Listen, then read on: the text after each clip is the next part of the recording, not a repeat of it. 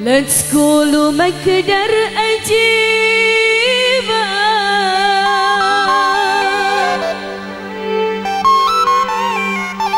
لا تقولوا هذا صعيب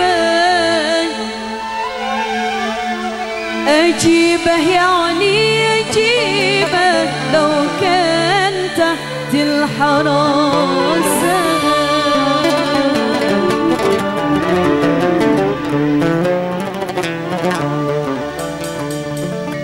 بحت عيني بعينه